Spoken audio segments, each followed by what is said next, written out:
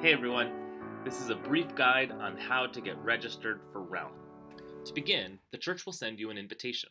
If you are new, we may not have your email on file, which means we won't be able to send you that invitation. If you have any questions or need help or want to give us your email, please call the church office at any time.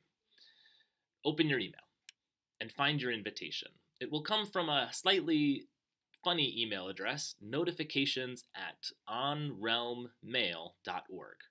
If you can't find it, always a good idea to check your spam folder.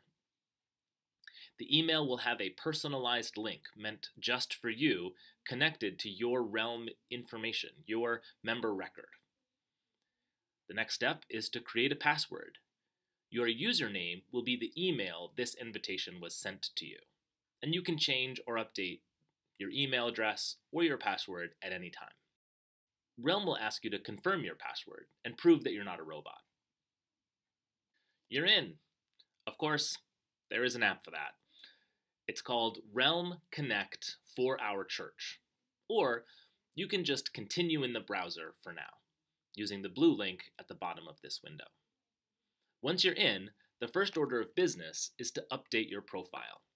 In the top right corner, you should see your name and initials. Click there, and then in that menu, click My Profile.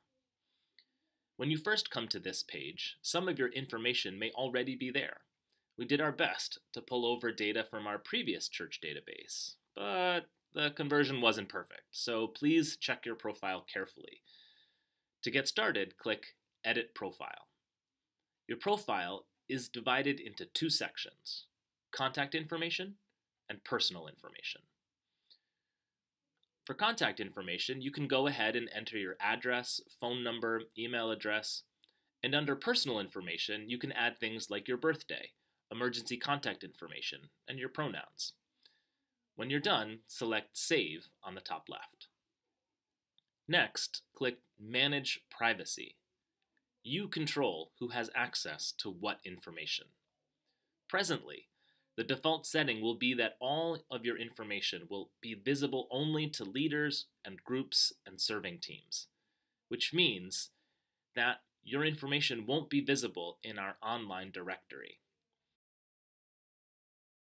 In order for your information to appear to your friends and neighbors, you will need to select anyone in the church.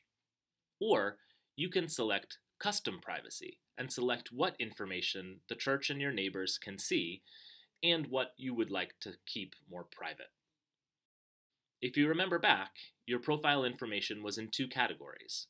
You can select your privacy preference for each item in your contact information individually. And for your personal information, birthday, pronouns, baptism date, you can decide your preference for all of it in one shot. When you're finished, select Save at the bottom. If you have any family you'd like to add to your household, click Add Family. You can also upload a picture to Realm. Remember those old picture directories with the family portraits with all the kids in elementary school, except now they're in high school? Well, now you can update your profile as often as you get a haircut. Click on your image to update. Now that you've set up your profile, it's time to explore Realm Connect using the menu options on the left. On the top, News gives you access to information and activities of the church. This is almost like a Facebook timeline, without all the annoying ads and glamour shots of your high school nemesis on a beach in Hawaii. On the bottom, the directory this will allow you to look up the information of your church family, assuming they manage to set their privacy settings to anyone in the church. In the middle, Giving. This allows you to access your current progress on your annual pledge, along with any other gifts or donations you have made in the year. If you haven't made your annual pledge, you can even do so right on the app. Though don't enter any old number until you've read and studied the stewardship campaign materials and chatted with God about what this church means to you. And it would be a kindness if you could also complete a pledge card. We're still getting in the hang of Realm, and we might miss it if you pledge only online, and then we'll forget to express our gratitude for your generosity. Rest assured, your pledge information and your giving history will never be made public that will always remain confidential. You may have noticed when you clicked on Giving, the bar at the top changed color. We were in Connect, where all the news, contact information, and eventually some volunteer opportunities, you know, all the things that help us, well, connect, are located. Your giving history, however, is in Realm. To swap back and forth, click the top left. If you've already set up your profile and need to make changes, you can find the Edit Profile and Manage Privacy buttons on Connect use the top right hand menu. Under My Profile Views, select Connect. To log back in, visit onrealm.org. That's probably enough for your first outing. If you have any questions at all, anywhere along the way, please be encouraged to reach out to the church office or to one of the pastors.